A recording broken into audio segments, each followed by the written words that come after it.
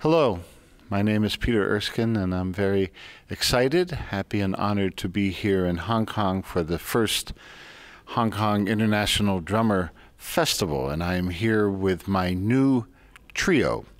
The new trio has actually been playing together for about five years.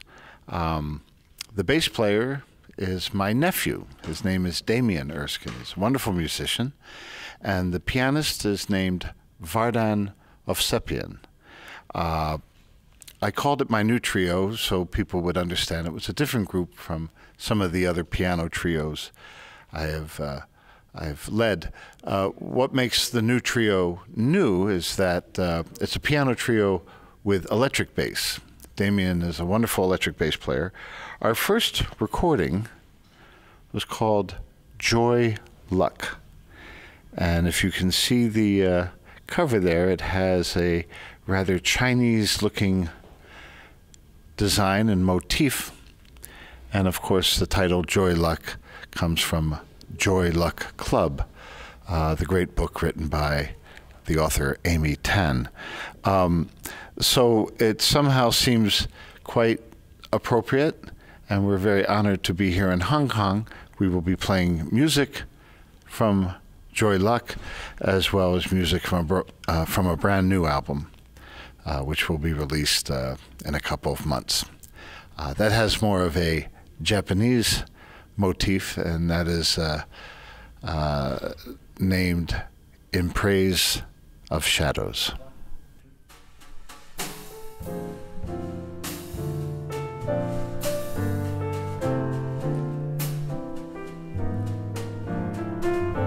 The first song I played as a young professional, uh, it might have been uh, uh, Sing Sing Sing.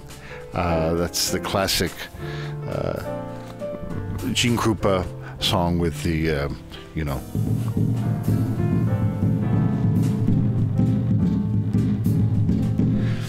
um, tom tom solo. and in fact, my very first drum set, it's so nice to see this drum because I had a drum uh, quite similar to this, just a little bit smaller. Uh, and my drum set consisted of a Chinese tom tom and a Cuban conga drum and one small cymbal. And I used to play along with recordings uh, from my father's uh, vinyl LP collection. he'd been a bass player when he was younger, but he was a doctor by the time I was born. Um, out of four children, I was the one who really wanted to play music, and uh, so I was very lucky to grow up in a uh, in a house and with a family that uh, supported uh, my becoming a musician. And when when I was becoming a musician, that meant becoming a drummer. And uh, when you become a drummer, uh, you make quite a bit of noise because the drums are not like a flute; they're not so quiet. Um, but I've been playing the drums now for 56, 57 years. It's a long time.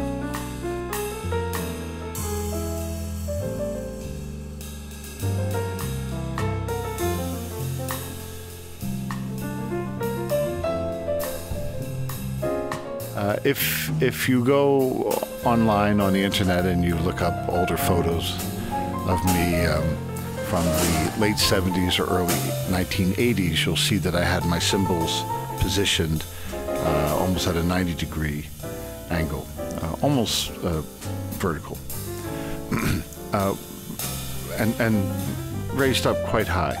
Uh, you know, funny thing happens when you get older. Everything gets lower. And uh, this includes cymbals. so now my setup is, is more horizontal. It's easier to reach. Uh, it was a fashion, it was a style in the late 70s and early 80s, and we liked playing and getting very physical. Uh, that's one of the attractive things about drumming. It's a very physical uh, way of making music. I'm a little bit more cerebral these days.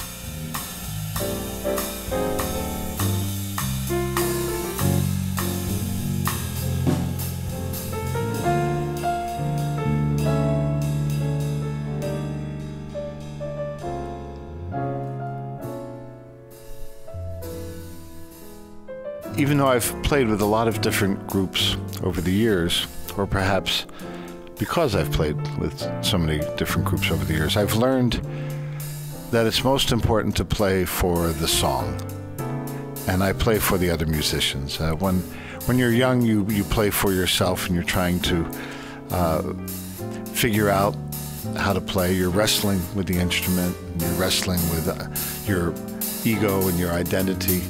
Um, and then as you get uh, as you get older, you realize uh, it's more about playing what you would like to hear, not so much what you want to play.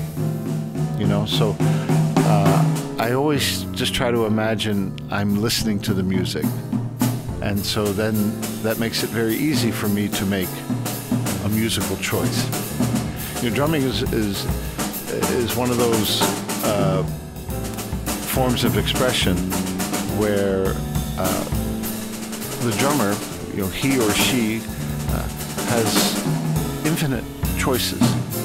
We, we can make choices all the time during a song.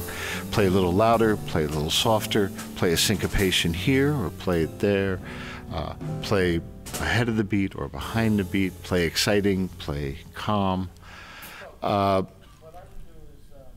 experience helps uh, helps you make better and better choices. Uh, so, uh, the fun thing about getting older is that um, you become a little bit smarter, and and and so making music, uh, it becomes easier and and I think better. Uh, so, I don't worry about not being good or getting better as I get older. I know I'm getting better as I get older, which is fun because there's not a lot of things where th that's true. You know, uh, many athletes, you know, they're best when they're young. But I think musicians can be best uh, also when they're older. I hope.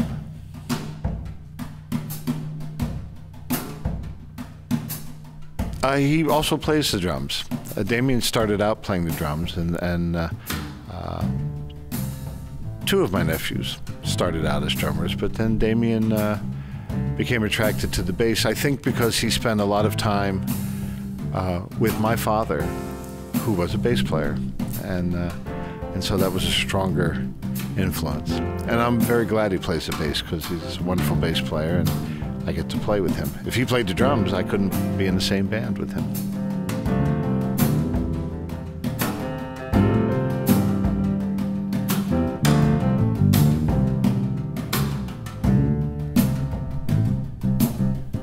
Jazz has changed uh, insofar as uh, we don't quite have the same opportunities for traveling and playing the music night after night uh, as existed maybe 50 years ago. Uh, we don't have big bands uh, uh, where young musicians could get professional experience right out of school. Um, there are not so many jazz clubs. You don't hear jazz as often in, in everyday life like we used to when we were young. But uh, this, of course, has, has created an opportunity and a responsibility for schools to provide the setting. Um, at the same time, jazz education has become uh, better. You know, teachers are doing a better job teaching students. So uh, young musicians are playing great, far better than, than the way I played when I was the same age. Um, is it too academic? Well, I don't know. You know, I think everyone just does the best they can, and and you play the music wherever you can. So maybe it's played more in schools than in jazz clubs. Uh, but that's okay. There's less uh, less to, less smoke from tobacco and uh, not so much alcohol.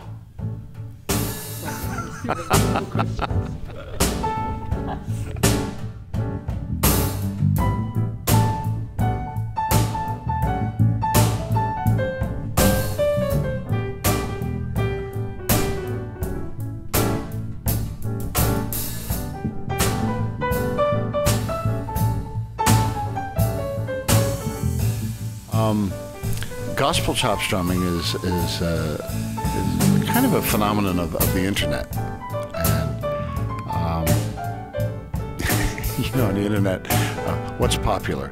Uh, videos of cats, uh, gospel chop drumming. Yeah, I mean, uh, uh, so you know, a gospel chop drummer can post or, or, or a, friend will post something on the internet and uh, many people will see it. So it's uh, the internet is, is what we call in English a double-edged sword. There's good things about it, but there's also not good things. You know, we have no control over what people might see, but if we know how to take advantage of it, um, it's a very quick way for someone to be heard and noticed. And so with gospel chops, uh, I think we could characterize it as, as drumming that, uh, uh, with, with, with extreme technique. And I think it's great because uh, any extreme technique pushes the boundaries of what's possible. Um, so I, I enjoy it. I mean, I, I won't sit and listen to it for very long because it makes my ears tired. Um, and it's not my favorite style of music, but I, th I think the drummers are all really exciting, and I think it's excellent.